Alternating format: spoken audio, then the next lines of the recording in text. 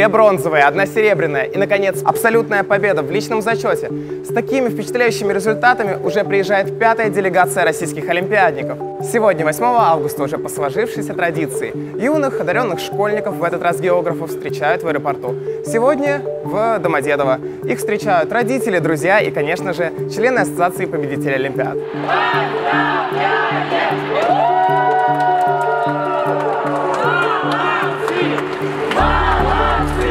От школьного этапа Всероса до международного турнира шаг за шагом Ален Каспанов покорял олимпиадную вершину. Так он добился абсолютной победы и звания лучшего юного географа. Вместе с ним в команде российской сборной участвовали Ольга Богданова из Москвы, которая привезла серебро, и Вячеслав Боголюбский из Челябинской области, Михаил Селюгин из Пермского края, которые привезли с соревнований бронзовые медали. Тренировали будущих медалистов сотрудники географического факультета МГУ, Павел Кириллов, руководитель сборной, а также Никита Мозгунов и Алексей Наумов. Впервые абсолютный победитель по общему количеству баллов. Да, у нас там вручается на Международной Олимпиаде э, от 12 до 16 медалей, но с учетом рейтинга у нас никогда не было первого, абсолютного первого места лучшей золотой медали. В этом году это, вот это вот впервые. До этого лучшее достижение было третье место на международной олимпиаде. Немаловажно, что появилась э, региональные олимпиады, в которых очень интересно и очень полезно участвовать. Например, это международная олимпиада с э, балтийских стран, в которой Ален принимал участие уже несколько раз, которая тоже помогает ему, помогла, ну не только Ален, но и другим ребятам подготовиться к международной олимпиаде по географии IGEO.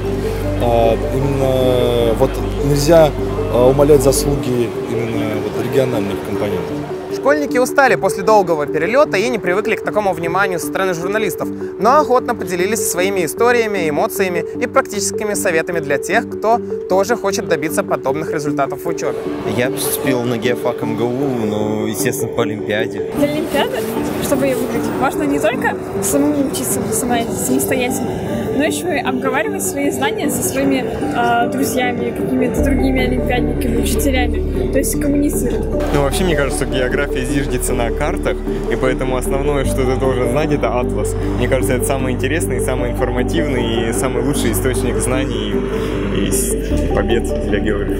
Это кролик, безымянный просто. Но, собственно, этому кролику больше лет, чем мне.